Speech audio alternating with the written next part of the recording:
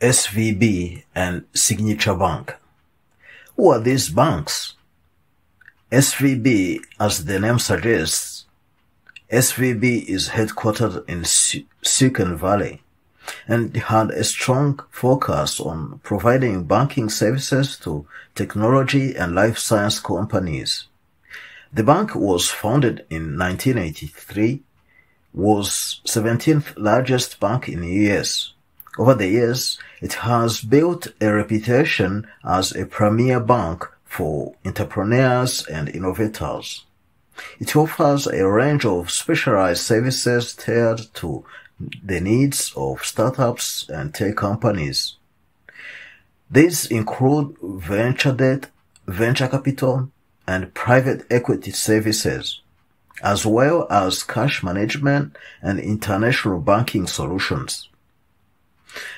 As for Signature Bank is headquartered in New York, was founded in 2001, was the seventh largest bank in the US. The bank has strong connection to crypto community. It is also worth to note that Signature Bank had built a good reputation even among financial analysts.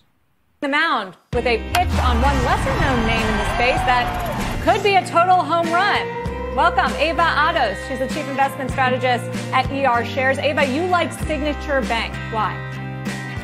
We like banks because in an inflationary environment, they can pass along costs and increase their margins. And we like Signature because it's not only a bank, but also a great growth entrepreneurial story.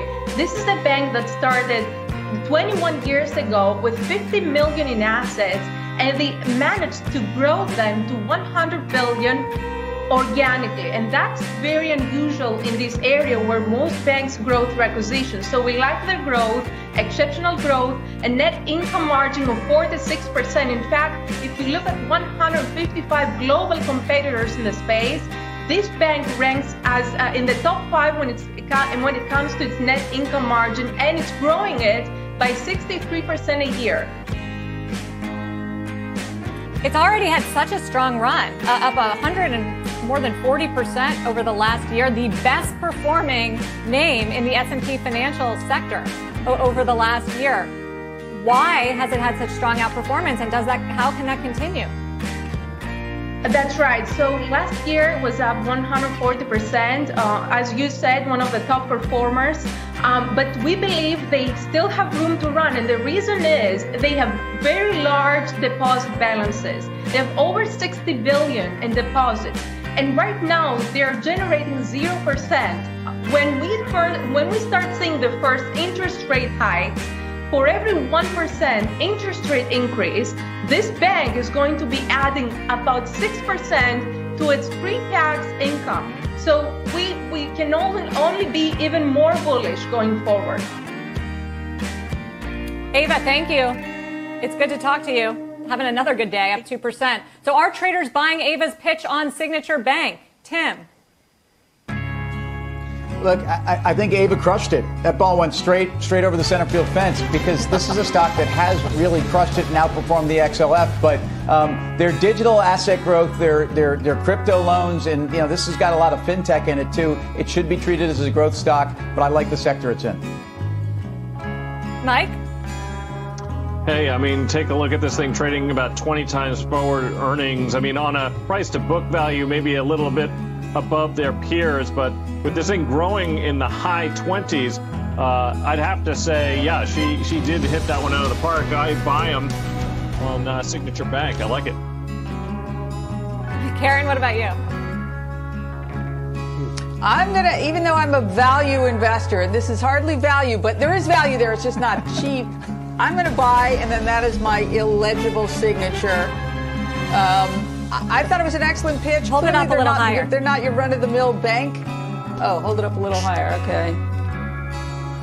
That's my illegible signature. Oh, signature. I think though that it's it is sort of like a fintech, and I think that you know the growth they've had, the margins that they have, it's expensive. One other thing, this could be a nice little acquisition for somebody.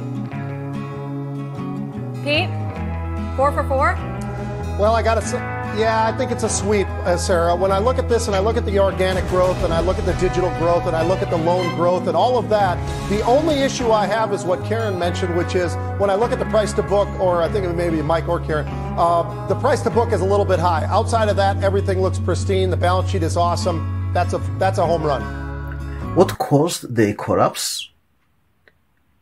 SVB collapse has been for a long time in making. The bank went from nine months without the CRO, Chief Risk Officer. As a result, proper precautions were not taken to ensure that sound systemic stress test was carried out.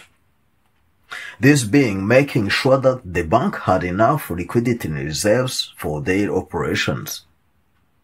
I mean, even a personal finance advisor would tell a common layman that for his or her financial well-being, a minimum liquidity reserve of six months is a must for their needs.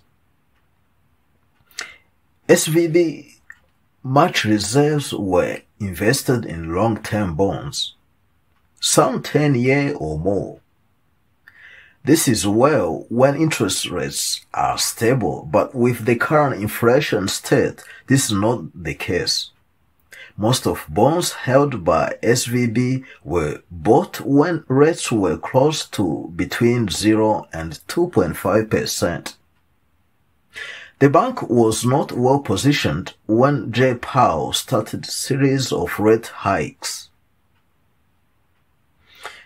This wouldn't have been an issue if SVB had enough liquidity reserve at hand to satisfy daily operations, as it would have been in a position to wait it out until these bonds mature. Unfortunately, the time is not SVB ally. To add fuel to the fire, at some point in the middle of all of this saga, executives at SVB started to sell their shares held in the company. It is obvious that they were preparing themselves for upcoming calamity. As for Signature Bank collapse, came as a surprise to many. Just recently, financial TV personality were re- commanding Signature Bank shares as a buy. That passed the GARP test. So let's start with number one. Let's start with Signature Bank.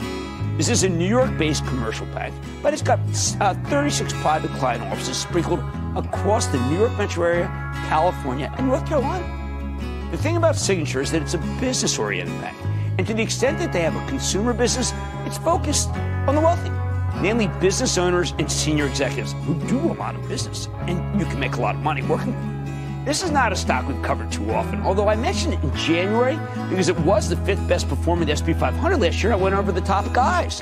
At the time, I told you Signature had run too much. Recommended waiting for a better entry point, just finding a bank stock that was cheaper on a book value basis. Well, I was a good call. Stock down 17% when we did that. Signature Bank collapse came as a result from lack of confidence by FDIC, meaning Federal Depo- Deposit Insurance Corporation. Nearly 90% of bank assets were uninsurable by FDIC.